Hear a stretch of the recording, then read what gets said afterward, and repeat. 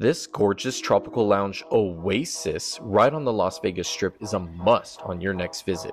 Featuring a colorful and comfy patio right outside the Mirage, Rhumbar has many delicious cocktails that are big, flavorful, pretty strong, and lots of fun with all the color and garnishes. Aside from cocktails, there's also a food menu, with this monkey bread being the perfect light and savory companion to our mid afternoon drink. What do you think?